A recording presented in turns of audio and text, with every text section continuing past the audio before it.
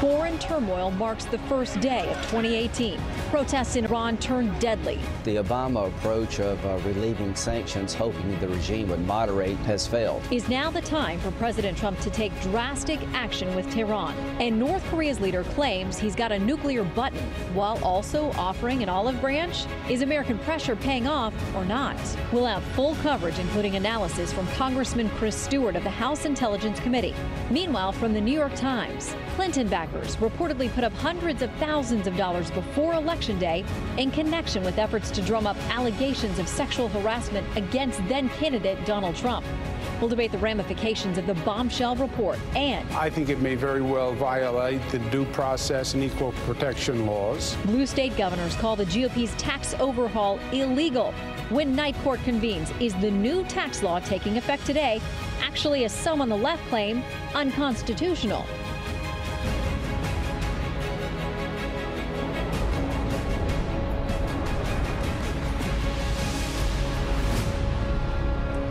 Hello and welcome to Fox News at Night. I'm Shannon Bream in Washington.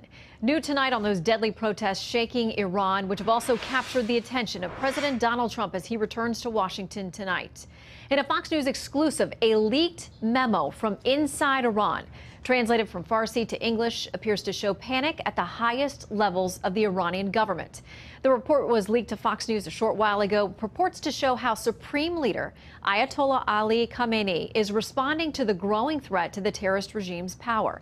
In key passages from this report, government leaders are quoted as saying, God help us, this is a very complex situation and is different from previous occasions. While protesters are said to be chanting death to the dictator and the leader lives like God while the people live like beggars. President Trump's been monitoring the situation closely, and national security correspondent Jennifer Griffin is following the Trump administration's response from the Pentagon. Good evening, Jennifer. Shannon, the death toll in Iran rose to 13 today amidst reports that a protester with a hunting rifle killed a policeman and wounded three others during a protest 200 miles south of Tehran.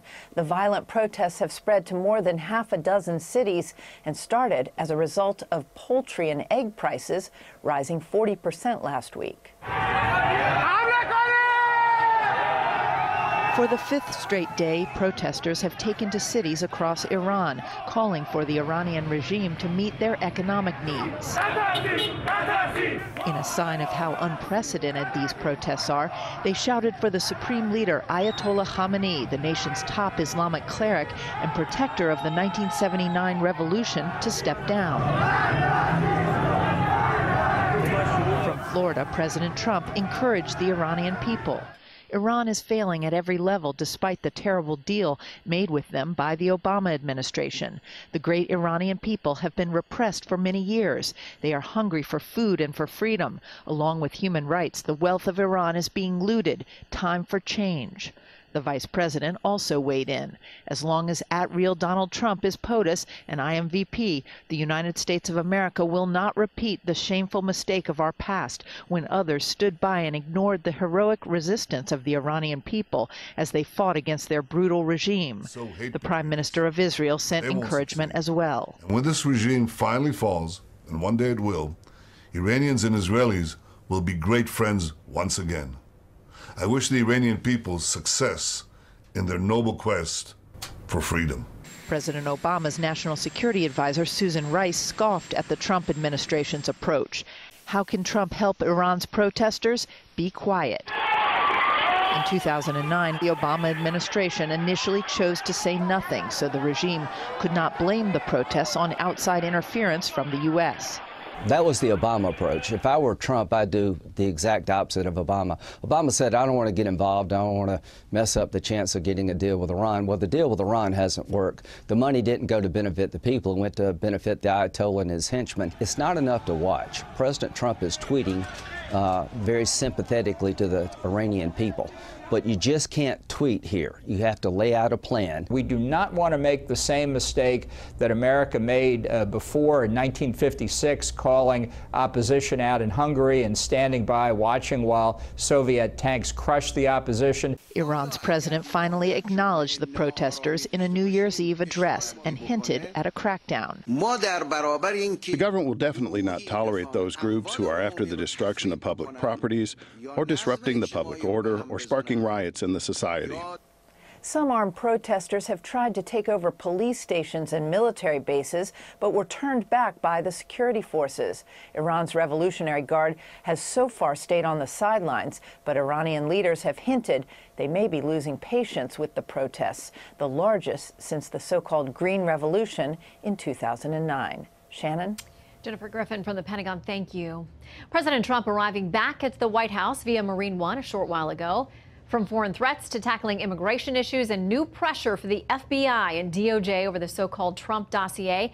It's going to be a very busy start to 2018 when all of Washington gets back to work. Here to help make sense of it all, Kelly Jane Torrance, the deputy managing editor for the Weekly Standard. Great to have you Great to today. be here. Happy New Year. You too. Okay, so let's start with um, we're going to talk a little bit more about the Iran situation later on. But the president also today calling out uh, Pakistan, saying this: the United States has foolishly given Pakistan more than 33 billion dollars in aid over the last 15 years, and they have given us nothing but lies and deceit thinking of our leaders as fools. They give safe haven to the terrorists we hunt in Afghanistan with little help.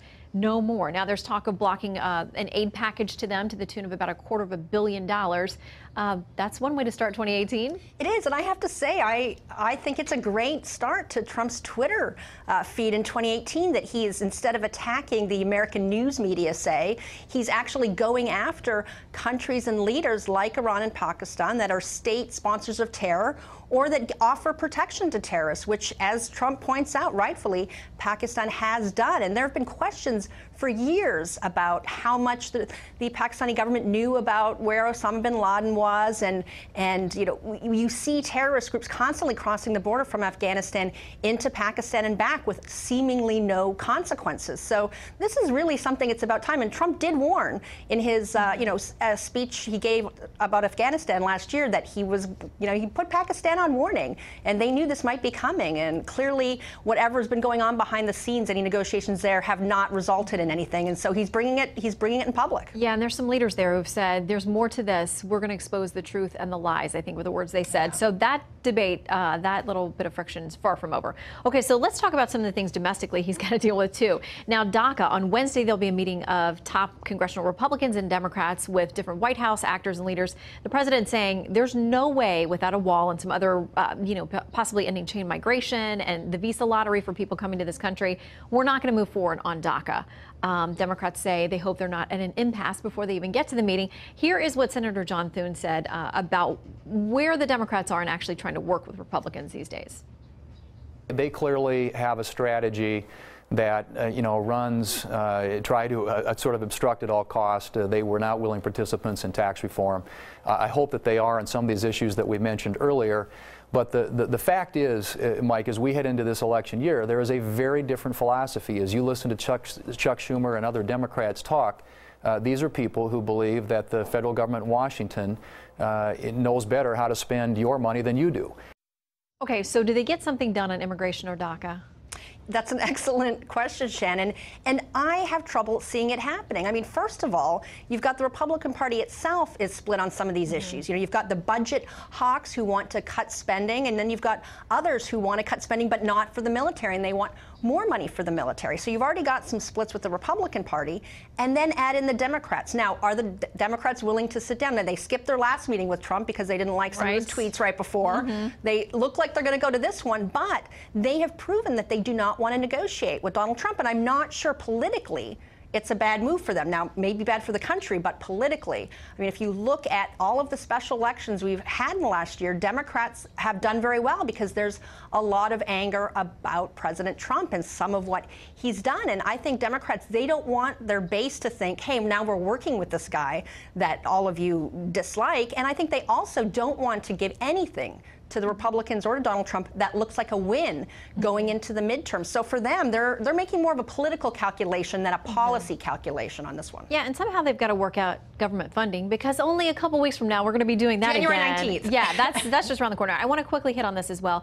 Uh, Congressman Devin Nunes, who heads the House Intelligence uh, Committee, has now said to the FBI and DOJ, "You are not giving us the information that we're seeking." He says this in a letter uh, to the Deputy AG uh, Rosenstein. As a result of the numerous delays and discrepancies that have hampered the process of subpoena compliance, the committee no longer credits the representations made by DOJ and or the FBI regarding these matters. And this is all connected to the Russia probe. He says we've asked for witnesses, we've asked for scheduling, we've asked for documents. He said in one case you told us you didn't even have any of the stuff we asked for, and then we found out later you did. This is sort of a weird intergovernmental, inter intra-branch situation. It is, and I mean that letter. If you you know you read the whole letter, it's it's kind of shocking. He actually says in there, I, I think it's about time for the FBI and DOJ mm -hmm. to mm-hmm. start investigating themselves. And I, you know, anybody who's overseeing these this investigation of the FBI and DOJ, it, they've got a tightrope to walk because they don't want to undermine law enforcement in America, and they don't want to undermine America's highest institution of law enforcement. You don't want to have Americans thinking they can't trust the FBI to do its job properly. But at the same time, they need to make sure that a very, very sensitive uh, political uh, investigation of top political leaders was done fairly and done right. And we're seeing some things coming out that make it look like, you know, maybe only a few people at the FBI and the DOJ, but enough to have Americans wondering, hey, we're partisan politics behind what should be legal, nonpartisan investigations. And so it's a it's a tough tightrope to walk to, to walk. And I think that Devin Nunes is certainly picking one side. And I think even some Republicans are nervous he's going right. a bit too far. But you know, let's let's get some answers. That's yeah. you know, and he has a point. If, if if they are asking for information and they're not providing it, you know, yeah, you have to wonder why. Why won't they? I mean, it's this is the this is Congress. The they they have yeah. the ultimate subpoena power. Well, and he's given them a deadline of January 3rd, this Wednesday. So yeah. we will see. Kelly Jane Torrance, always great to have you. Great to be here. In. Happy New Year again. You as well. All right, returning now to our top story, Iran. Senator Lindsey Graham says the deadly unrest there is proof that the previous administration's approach failed.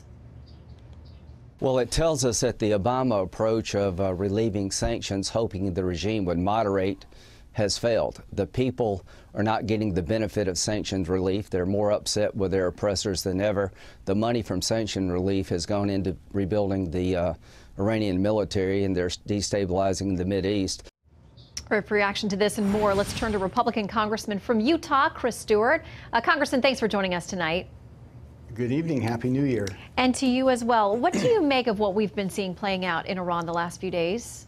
Well, I think Senator Graham has it exactly right. I mean, we have an opportunity here to correct one of the great failures of the previous administration.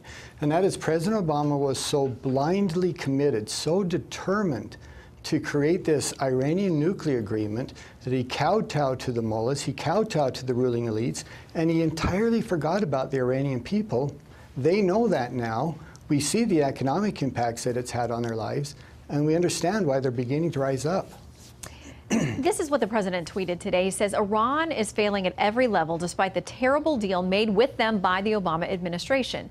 The great Iranian people have been repressed for many years. They are hungry for food and for freedom along with human rights.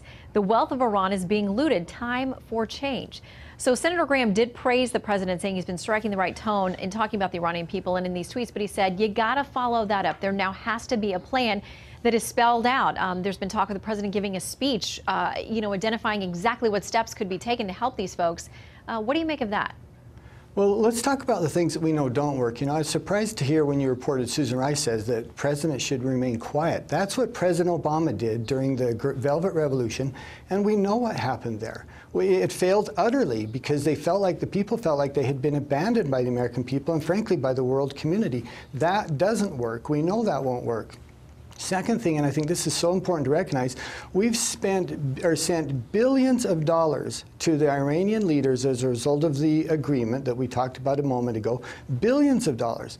Now think about this, about 450 million of it was sent to them in cash, literally a plane load of euros and dollars. And why was that? It was because they wanted to have that cash to funnel it to Hezbollah to funnel it to Hamas, to funnel it to the IRGC and other terrorist organizations. That money wasn't going to be going to the Iranian people. They wanted it in cash so they can funnel it, it wouldn't be traced. And again, the Iranian people were promised that the, the sanctions relief would make an economic difference in their lives. It just simply hasn't. The mullahs aren't honest with their own people. They haven't been honest with the American people. And again, we're seeing the result of that. Yeah, and I think if, if I remember correctly, Secretary then Secretary of State uh, John Kerry said something to the effect that they couldn't, there was no way to guarantee that some of that cash wouldn't flow into these terrorist uh, organizations or bad actors. I want to ask you as well about another foreign policy hotspot, which is North Korea. Um, we have a little bit uh, from uh, Kim Jong Un talking about uh, exactly what kind of threat he has. He says he has a nuclear button now, and he says this about reaching the U.S. The entire U.S. mainland is within the range of our nuclear strike, and the button for the nuclear strike is always on the table in my office. They should clearly know that this is certainly not a threat, but rather a reality. So, where do we go with North Korea? Oh my gosh, it's a challenge, isn't it? I don't think that he has a button sitting on his desk with nuclear missiles capable of reaching the U.S. quite yet, but he's very, very close. And the president has made it clear, and I completely agree with him, he will not allow North Korea, he will not allow Kim Jong un to threaten and to blackmail and to take not one or two U.S. cities, but literally dozens of U.S. cities and destroy them if he were to choose to. He can't allow that to happen. You ask, what do we do? I think the sanctions, and, and it, it, has to start with sanctions and with diplomatic efforts. And it was interesting, as we've seen, some of these uh, oil tankers that have been, you know, uh, secretly refueling uh, North Korea. Look, if you think China wasn't aware of that, then you don't understand the Chinese leaders. They're certainly aware. They're, they're aware of everything that happens within their country. They're certainly aware if they had some, uh, some ships that were going out and refueling these uh, North Korean tankers. I think they were testing us. When I say they, I mean in this case the Chinese leaders. Mm -hmm. They have pledged they would enforce these sanctions, but they haven't been honest with us in the past. And again, I think they were testing us to see if we'd hold them accountable. As you know, we've impounded two of those ships now. President Trump has been very clear in the world community saying, calling Chinese leaders out on this, pointing out what they've done. It's important that he does that. But we have to keep the pressure on, and we've got to keep the pressure on the Chinese as well.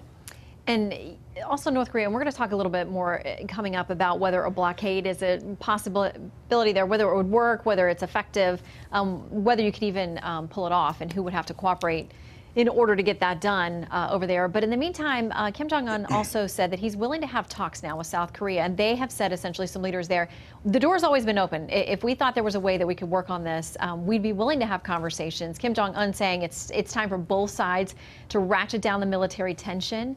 Um, do you think it would be yeah. helpful for those two sides to get together? Can it bring about effective change? Well, I, it's obviously something we want to encourage, but we need to do it with our eyes wide open. We, we can't be naive. I was a young Air Force captain flying the B 1 when we were told by then President Clinton, because we were preparing for strikes against North Korea at that time, this is in the mid 90s, and President Clinton held up an agreement says, no, no, no, it's not necessary. We've got this agreement. The North Koreans will never have nuclear weapons. And of course, that wasn't true, and we failed in that policy. And they're very, very good about using negotiations in order to stall for time while they continue with the development of their nuclear programs or their missile programs. So as long as we're aware of that and we don't go into this blindly, but again, what we're trying to do is to force him to the table. So let's not take any, if he does uh, present an olive leaf, let's not take that and brush it aside. Let's sincerely try to engage him, but let's do it, as I said, in a mature and showing judgment that recognizes they're not always honest with us. In fact, they're rarely honest with us. We don't want them to delay these negotiations just so he can complete his missile program. Congressman Chris Stewart, thank you very much for weighing in with us on this New Year's uh, Day. Thank you so much, sir. Thank you. It's a pleasure. All right, remember that report about an LA lawyer who tried to line up big payouts for women, accusing then candidate Donald Trump of sex harassment. Tonight, another report, this time from the New York Times, shedding new light on the alleged scheme. Details breaking just ahead. And later, you may have heard that some politicians from California, New York, and New Jersey, they don't like the $1.5 trillion tax cut plan going into effect today. Well, they may be heading to court. You're going to hear from both sides in Night Court. Plus, we'll explain why fireworks were especially dear to one Iraqi city this New Year's.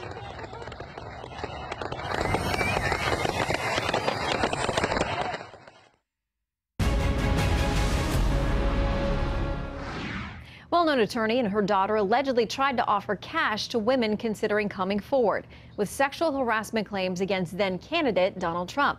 According to the New York Times, attorney Lisa Bloom, the daughter of attorney Gloria Allred, worked on raising hundreds of thousands of dollars to encourage alleged sexual misconduct victims of Trump's to tell their stories. Fox News White House correspondent Kevin Corke is here live with more on that story. Hi, Kevin. Hey there, Shannon. It's actually called Pay for Play, and to be completely honest, it's one of the oldest and most popular games right here in Washington. You know the idea. You pay uh, someone a little money or maybe a lot of money to smear a political enemy or to take them down. But in this instance, we're talking about political gamesmanship, Shannon, uh, that could ultimately cost the accused not just their job, in fact, a lot more than that, could end up costing them their very freedom. Now, as you pointed out, the New York Times and other outlets, to be fair, confirm that Democratic political partisans are now exploiting the Me Too movement, raising hundreds of thousands of dollars to support accusers who come forward with charges against their political opponents. Notably, as you also pointed out, lawyer Gloria Allred, an unabashed supporter of Hillary Clinton and the Democratic Party, now raising money to fund a lawsuit against the president by a woman by the name of Summer Zervos. She says she was assaulted by the then uh, just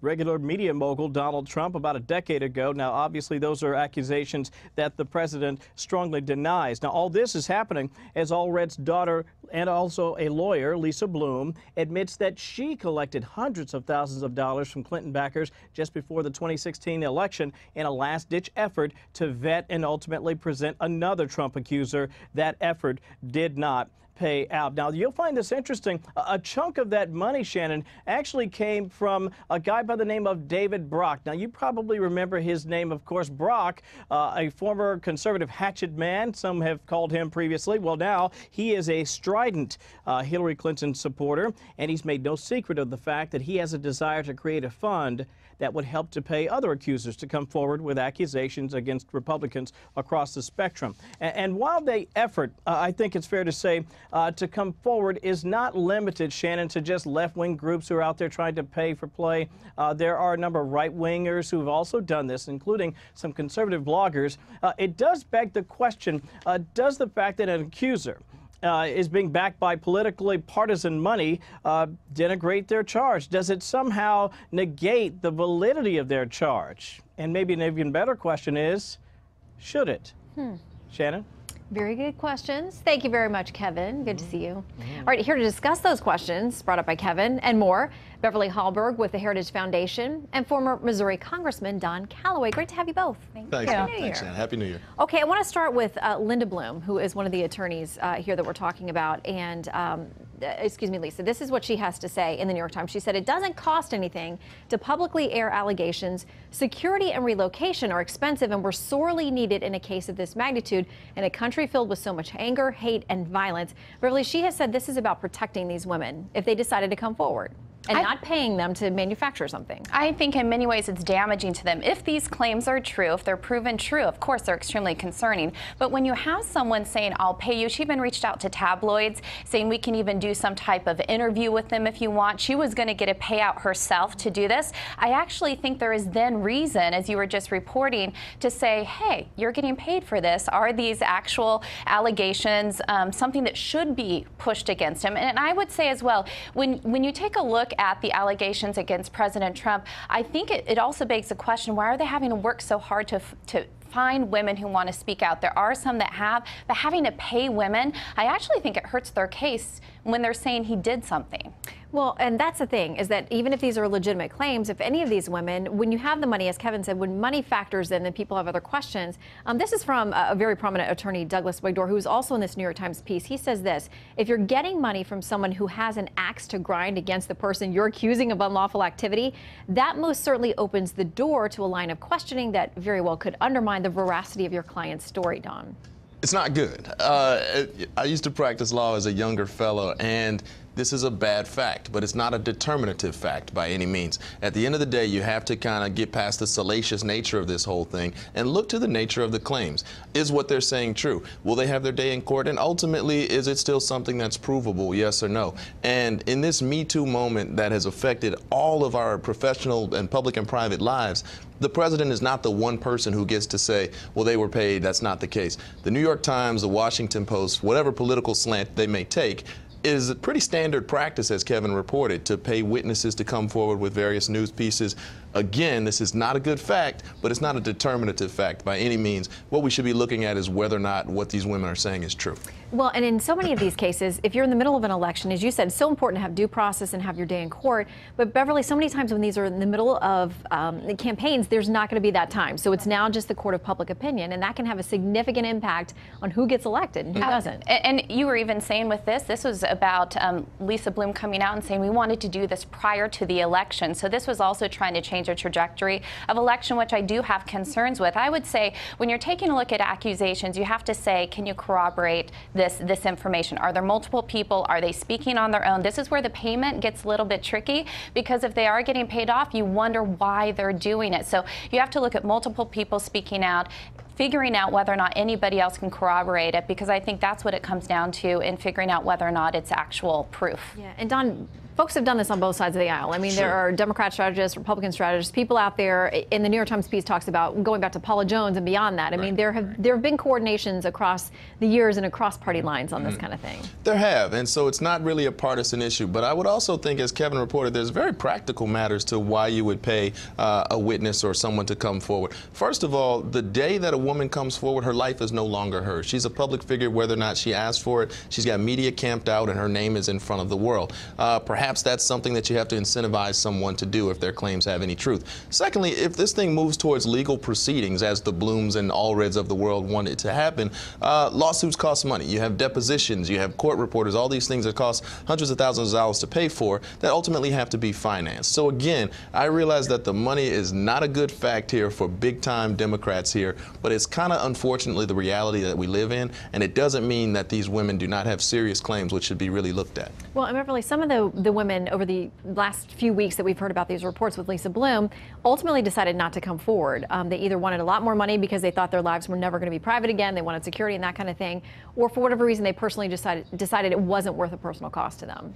Yeah, and you have to take that into consideration. There is, as you were just saying, a lot that can happen to women who do come out. Their name is out there. What does this mean for their career? But I even want to take a look at, at Lisa Bloom and, and look at some of her past uh, trajectory in these cases. She did defend Harry mm-hmm. Weinstein. There are some concerns about, okay, if you are a, a, an attorney who wants to stand up for women's rights, why did you defend Harry Weinstein and why are you now saying we want to go against Trump? It looks political, and I think maybe that's why some of the women decided we don't want her to defend us in this. I think even she has kind of backtracked on that, saying maybe that wasn't the best decision because, you know, it doesn't, you, as an attorney, yeah. you know, we know that you're not always, you know, in simpatico with your client, but. Listen, there's no doubt it's political. And let's just, let's just put out there that Harvey Weinstein is a terrible guy, right? and uh, I think that's one thing that everybody can agree on uh, in the new year. It's extremely political. That is absolutely the case. But that's kind of the nature of the game that we've all chosen to play. And so uh, can't deny that it's political, but again, we also can't deny that these women might not have very serious claims mm -hmm. that should be considered. True. I mean, both of those things can be true at the same time. Mm -hmm. Don and Beverly, great to see you both. Thank, Thank you, Sharon. Happy, Happy, New, Year. Happy New Year. We're not even going to ask about resolutions and if you've broken them yet.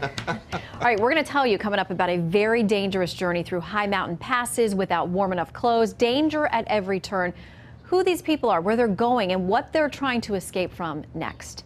And how some Californians brought in the new year on a high at the toke of midnight.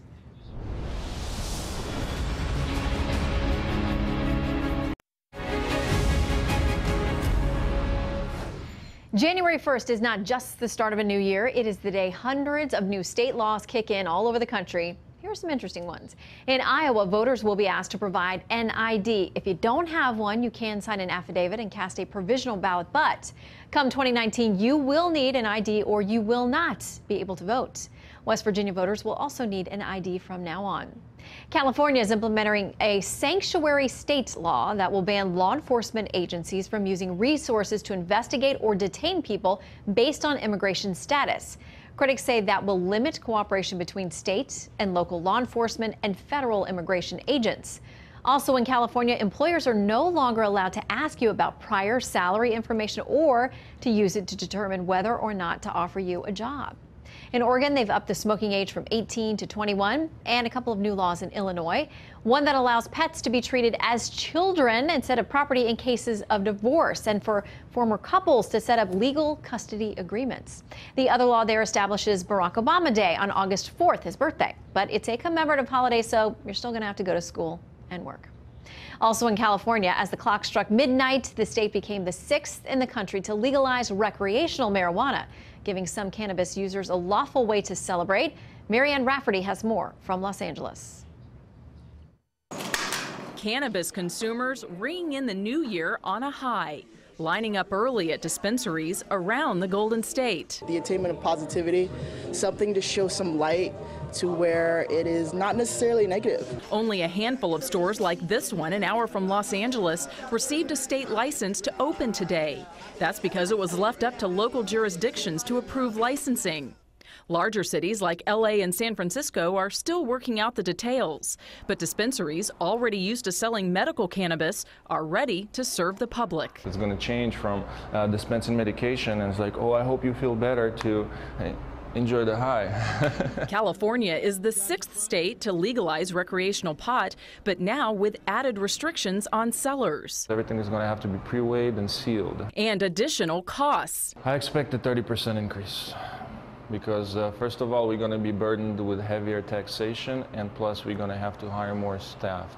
Cannabis sales have been legal for four years in Colorado. Supporters say in spite of some early stumbles, government regulation works. We can control it. We know who is producing it and who's selling it, and we know that they're following rules that will protect public health and safety. Not to mention millions in new tax revenue for state and local governments.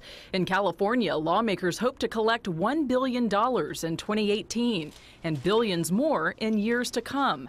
But opponents of legalization say it's not worth it. What we've seen when that use increases is things like the traffic fatalities increasing, um, the use obviously of youth and adults increasing. Um, we also look at things like ERs and hospitalizations and homelessness and a whole other realm of things um, that are unintended consequences. What happens in California is yet to be seen. The new law says you must be at least 21 to buy. You can't smoke in public, and road signs along many California highways remind drivers that driving while high is still DUI. Shannon? Marianne, thank you very much. Where in the world now in about 90 seconds? We begin in Iraq, and a scene the likes of which has not been experienced there in far too long. Check it out.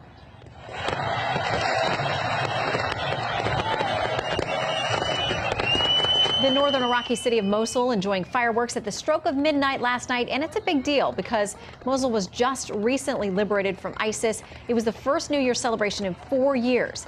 Christians also held Christmas Mass in the area, a significant development because, as you know, ISIS tried to drive Christians out completely out of the so called caliphate during those four years of war. All right, while these adventurers are braving a new land and crossing cold and unfamiliar mountains, this is not a scene from the next installment of The Lord of the Rings. Middle Eastern migrants are now trying to cross the border between Italy and France by passing undetected through high mountain passes in the Alps. Poorly equipped for the rugged terrain, they hope to reach shelters before freezing to death or getting caught by French police. To Africa now, and an alcoholic beverage factory in Cameroon catching on fire.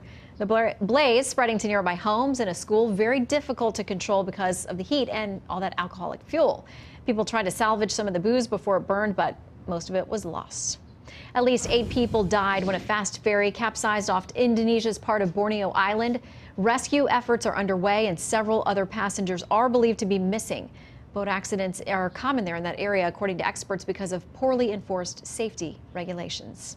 Well, night court will be in session in just a moment. We'll take you to New York, where Governor Andrew Cuomo was threatening to take the newly passed tax plan to court. But first, South Korean authorities seize a second ship accused of importing oil into North Korea as the rogue nation delivers a menacing New Year's message to the U.S. I'm proud of what we did last year, and I saw what our respected leader Kim Jong un said in his New Year's address, and it made me determined to work harder.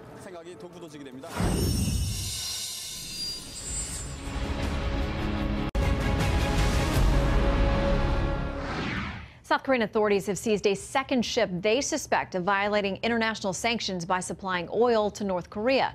Recently, tough UN sanctions were imposed banning nearly all of North Korea's oil imports in an attempt to curb ballistic missile tests. Secretary of State Rex Tillerson has called on all nations to clamp down on the rogue regime, saying the U.S. has a right to, quote, interdict maritime traffic. But should the U.S. lead an actual blockade of North Korea? Some experts are saying that is a solution to bringing Pyongyang to heel as it displays a new so called nuclear button and yet another threat. Joining me now to discuss, former Green Beret and Fox News contributor Michael Waltz. It's great to see you tonight. Thanks, Shannon. Okay, so I want to start by a piece that was an opinion piece on FoxNews.com uh, from a retired lieutenant commander uh, from the Navy, Gregory Keeley. He says this mm-hmm. short of a naval blockade where every ship in the vicinity of North Korea is boarded, searched, and if necessary, impounded, it will be impossible to entirely close the oil lifeline spigot. Is, is it a realistic solution to this issue?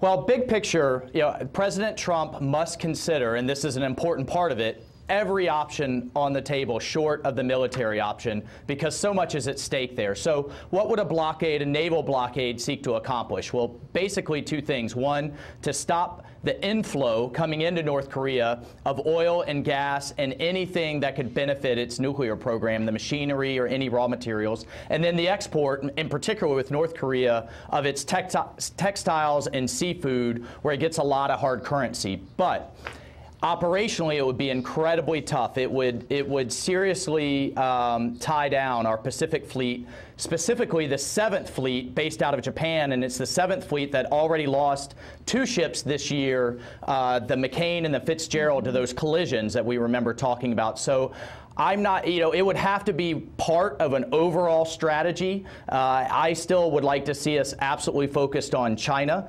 and choking off uh, and, and encouraging the Chinese to choke everything off the North Koreans. Remember, they still have a very long uh, land border with North Korea. They have an oil pipeline. And what we'd risk with a blockade is that we tie down our Pacific fleet while the Chinese are still supplying the North Koreans because to them, it's more of our problem than it is a Chinese mm-hmm. problem. Yeah, they've got to be made to feel like it is in their best interest to act in a way that is negative, has a negative impact on North Korea. By the way, um, North Korea, its state media outlet said this about the possibility of a naval blockade. They said, should the U.S. and its followers yeah. try to enforce the naval blockade against our country, we will see it as an act of war and respond with merciless self-defense countermeasures, as we have warned repeatedly. That that sounds pretty much uh, like the response we get to them from just about everything we do. Yeah, well, that's right. And, but in this case, a blockade is considered you know, historically an act of war uh, by most countries. You know, the other piece here, though, is an authorities issue. We would need a UN sanction specifically authorizing the use of force. Right now, what the UN authorizes is an inspection regime, and that's fine, and we're starting to do that. We're certainly seeing the South Koreans do that. But if a ship doesn't comply, we are not authorized um, to actually use force to get it to comply. So we would we would have to go back to the UN for for additional authorities. And again, you know, what we would risk, I, at the end of the day, I think if a, I would like to see us try a blockade before we go to the final military mm-hmm. option. But we do risk also a slow escalation at sea, and we could risk losing, um, you know, the, the uh, benefit of surprise by a precision strike on the nuclear program and on the leadership. Mm-hmm. So a mm-hmm. lot for the president to consider here. Yeah, it, you talked about China. We know Russia is also a factor here as well. Uh, how, oh, absolutely. How do uh, those who believe uh, North Korea is a threat to them, how do they convince China and Russia it's in their best best interest to get involved in, in a well, more substantive way? Well, what I think at the end of the day we have to do is make the Chinese, in particular, the Russians to a lesser degree, start feeling the pain and making this part of their problem. How does how would we do that? Well, one, we can authorize and work with uh, the Japanese to go offensive. Their constitution right now prevents that in terms of their in terms of their military. Reintroducing tactical nuclear weapons into South Korea, which we had up into the 1990s, and a number of other things in terms of introducing more advanced missile defense and more advanced radars to, to the point where the Chinese see the security dynamic drastically shifting against them in Asia and they say, you know what? North Korea, you're more of a problem than you're worth, and we're finally going to take uh, drastic action here. Yeah, we'll see. Uh, every day a new twist in this. Uh, Michael Waltz, thank yeah. you so much for helping us break it down. Good to see you. Okay, thanks, Shannon. Happy New Year. You too. Right, some governors say they are ready to launch a legal battle over the GOP's tax overhaul. The argument is that the tax cuts are unconstitutional. Well, our legal eagles are here. They're on the case when night court is in session. Next.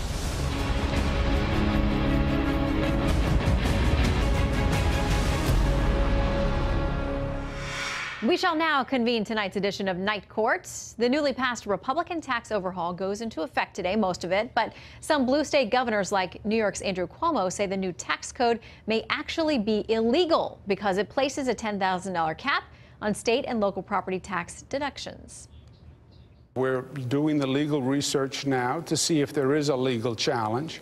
Uh, I think it may very well violate the due process and equal protection laws. Uh, it is the most egregious uh, political act I have seen. Uh, not since the Civil War have you seen the states this divided. Cuomo argues the tax cuts are unconstitutional because they violate the Fifth Amendment, known most for its protection against self incrimination. But that amendment also protects individuals against seizure of life, property, or liberty without due process. Cuomo, along with California Governor Jerry Brown and New Jersey Governor elect Phil Murphy, say they are exploring legal challenges to those caps. So let's bring in our legal eagles, criminal defense attorney Vinoo Varghese, who is arguing on behalf of the Democratic governors, and former federal prosecutor Doug Burns, who's arguing the tax law is constitutional. Welcome, gentlemen. Thank you. Thank you, Ms. Bream. All right, Doug, I want to start with you. Uh, sure. This is what uh, political Democratic political consultant Phil Singer says. It's a no-brainer for them to do this. Failing to aggressively pursue a remedy would be political malpractice. Sounds like there he's thinking of not only the potential legal win for them, but really the PR or political battle in taking this on, and that being a potential win. Well, that's a perfect place to start because it's way more political, of course, than it is legal. Obviously, New York State is a very high tax state, and so to cap uh, the deduction for state and local and real estate taxes at $10,000 does harm people whose taxes are above that measure. But legally, the claim that it's unconstitutional based on equal protection grounds is incredibly weak. Maybe they want to hit the books a little harder and come up with some other avenue. But think about it, Shannon. You have distinctions in the Internal Revenue Code all over the place. Single filing is different than married, okay? If you earn X dollars more than the other person, your taxes are higher. That's what the tax code is. So to say that this distinguishes unconstitutionally against someone whose taxes are higher than 10,000, incredibly weak argument, in my view. Well, and you're not the only one who thinks that because uh, David Gamage, who is a professor of tax law at Indiana University's School of Law, says this I don't understand how they think they have a valid lawsuit here. Vinoo? Well, the argument that Governor Cuomo should be making is that this is double taxation. See, when you pay your federal income tax, when you pay uh, taxes to the federal government, when you have a tax liability, the way the income tax was created during the Civil War was that you take care of your state and your local property taxes first before you pay anything to the federal government. So that's the, uh, that's the premise that Governor Cuomo should start with. And then, from a PR perspective, we talked about PR. the Democrats can now make the argument that they're the party for states' rights. They're the party of limited government because by eliminating this deduction, the SALT deduction, the uh, this deduction by eliminating or reducing it to $10,000, what's happening is that more money is being given to the federal government, and you can make the argument that it's bloating the federal government. Well, that's not an argument that I hear Democrats make a lot, Doug, as well, far as too much money going to the federal government and that it's a bloated mess here. I mean, both parties have been, uh, you know, not yeah. too uh, ambitious about cutting spending uh, when it comes down to it. But, you know, what do you make of that potential argument? Well, I like the way my colleague obviously raises another avenue, which is double taxation, as opposed to that very, very weak equal protection argument. Uh, but the reality is, I even think the double taxation is a little weak, most respectfully, and here's why. Because you could say, taxing Social Security, taxing Medicare, and income tax. Those are triple taxation on your same earnings. So I think it's a tough argument. There was a case out of Maryland, mm -hmm. but it said, look, if I'm in Maryland and I earn money in Colorado and Colorado taxes me, don't tax me on the same earnings in Maryland. But that's a little different than here. Yeah, because there we get into the Commerce Clause, and I don't want to make us all right. glaze over and go back to law school, but it in wouldn't weeds, it wouldn't right. apply yeah. in the in the federal case. I'm going to have flashbacks of the bar exam. But yes, Vinoo, go ahead. But what I'm saying, actually, I think Doug, you've raised the, the, the case, but that's actually the case that I think Right. that will work in the favor of the Democrats if they push this. Right. You had a conservative court with Justice Alito leading the way, saying that taxation when a Maryland resident was making money and being taxed outside the state, they couldn't get a deduction for that in-state. This is the same kind of argument that the Democrats should be making or may ultimately make here. And look, you don't know where it's going to go, but I think what's going to happen is you're going to have these governors, whether it's Governor Brown, Governor uh, Governor-elect Murphy, or Governor Cuomo, file for a stay, and then it's going to get up to the Supreme Court. And you know, like nobody ever expected Chief Justice Roberts to save Obamacare. So Yeah. you just don't know. Yeah, and it seems that that seems to be um, the left's protocol with just about anything that President Trump is able to get done. So much of it is tied up from the travel ban to all kinds of things. In legal uh, battles, most of them filed in the Ninth Circuit, um, where it makes it really tough for him to get Yeah. anything done. But Vinoo, I want to ask you what you make of the argument that a lot of people respond and just say you should put pressure on your state and local leaders to lower those taxes and maybe not expect people to pay for all kinds of programs and do things. Maybe you should cut spending at the state level if you're so worried about how high the taxes are there. You know, the way that the states work, particularly New York, uh, New Jersey, California, is that there's a level of services that people expect. So, you know, I, I recently was having this conversation with a, with a friend of mine who went to high school, who's an NYPD captain, and he is a staunch Republican, and he is angry because he says, look, you know, cops, that this bill is going to kill cops, it's going to kill the civil servant because they entered into a contract with the government to buy homes. Why was it important to buy homes? Because property taxes pay for schools. So the cop whose only deduction is that of the mortgage tax deduction is now being limited. Is basically this captain friend of mine was saying it's killing him. Yeah, and there- this is a big Republican guy. who's Yeah, there's a lot to dig through, and as we see the reality of it play out, um, you know, Republicans remain convinced that it's going to be good, and folks, once they get it, will appreciate it, and when they see the difference in their uh, paycheck. So we'll see. But Doug and Vinoo, great to have you both with us tonight. Um, we'll let Lizzie. folks at home decide what they think about your arguments. Thank Thanks you, for being pleasure. with us. Yeah, Sure, tweet me at Shannon Bream if you want to roll in on Night Court and tell us what you think. All right, every year, just about everywhere, some party folks take the plunge in the heart of winter. But this winter is not like mo- most others, and that has the tradition of polar bear plunges in deep trouble. We'll explain next.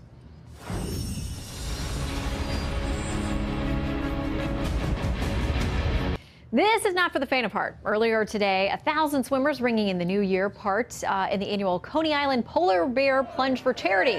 Last year, swimmers enjoyed 50 degree weather. This year, uh, made it up to about 17 degrees by early afternoon. Rescuers reportedly hauled off one swimmer on a stretcher as he complained about freezing feet and toes. Other states canceled them altogether. We'll see you tomorrow.